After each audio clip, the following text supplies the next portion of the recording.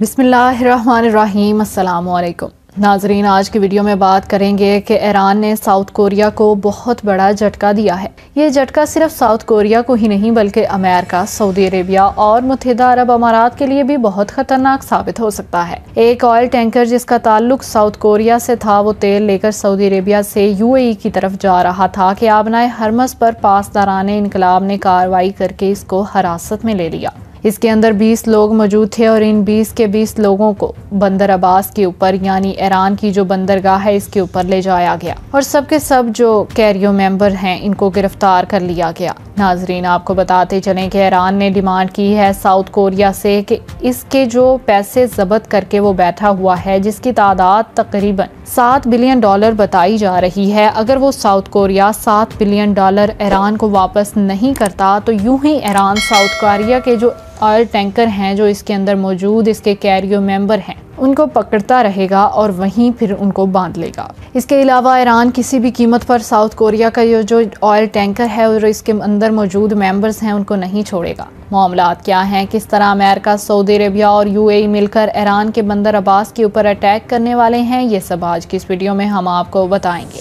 تو بات کرتے ہیں ناظرین، دنیا جہاں کا آئل ٹینکر جب بھی جہاں سے بھی جاتا ہے، چاہے وہ یو اے ای سے جاتا ہو، متحدہ عرب امارات کی دیگر ریاستوں سے جاتا ہو، عمان سے جاتا ہو، بحرین سے جاتا ہو، قطر، سعودی عربیہ سے جاتا ہو، سب نے گزرنا آبنائے ہرمز کے پاس سے ہی ہے۔ اب اطلاعات یہ ہیں کہ ساؤتھ کوریا کا ایک آئل ٹینکر تیل لے کر سعودی عربیہ سے یو اے ای جا رہا تھا۔ جیسے ہی وہ جہاز تیل لے کر آبنائے حرمت سے گزرا تو اس جہاز کو سعودی عربیہ سے دیکھ کر اور یو اے ای کی طرف جاتے دیکھ کر ایران کے پاسداران انقلاب نے حراست میں لے لیا۔ آپ کو بتاتے چلیں کہ اس جہاز کے اندر تقریباً سات ملین ٹن آئل موجود تھا جو سعودی عربیہ کی طرف سے یو اے ای کی طرف جا رہا تھا۔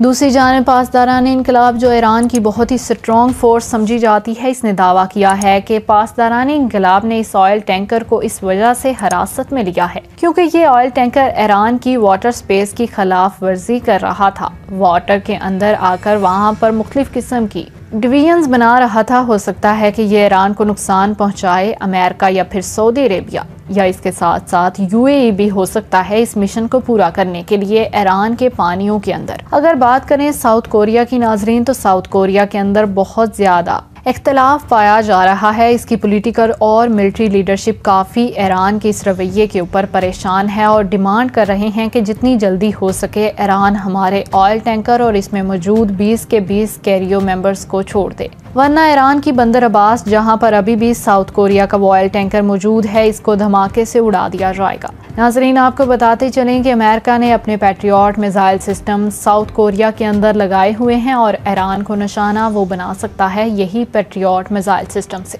اب امریکہ، یو اے ای، سعودی عربیہ، ساؤتھ کوریا، یہ سارے مل کر ایران کو ڈی سٹیبلائز کرنے اور ایران کی بندر عباس پورٹ کو نشانہ بنانے کے لیے پرتول رہے ہیں۔ ناظرین، یہ جو مزید معاملات آگے بڑھے ہیں، یہ جو ایران نے آئل ٹینکر کو زیر حراست لیا ہے، یہ ایک بات تو یہاں سے کلیئر ہے کہ ایران، ساؤتھ کوریا کے خلاف ہی نہیں۔ ایک تیر سے بہت زیادہ نشانے بنا رہا ہے۔ امریکہ کو بھی تباہ کر رہا ہے، سعودی عربیہ اور یو اے کو بھی نشانہ بنا رہا ہے۔ ایران نے ساؤتھ کوریا کے اوپر شرط رکھی ہے، وہ شرط یہ ہے کہ ساؤتھ کوریا نے تقریباً سات بلین ڈالر ایران کے دینے ہیں، کیونکہ ایران نے جو نیوکلیر ڈیل کی تھی، اس کے اندر سات billion dollar financial aid South Korea کے ہاتھوں سے آئی تھی، وہ ابھی تک وہ نہیں دے رہا۔ ایران کا یہ دعویٰ ہے کہ ساؤتھ کوریا پہلے ہمیں جو سات بلین ڈالر ہیں، اس کو ریٹرن کریں، تبھی ہم ساؤتھ کوریا کا جو آئل ٹینکر ہے۔ تو ناظرین، یہ تھی آج کی پوری ویڈیو، اب تک کے لیے اتنا ہی، جزاک اللہ۔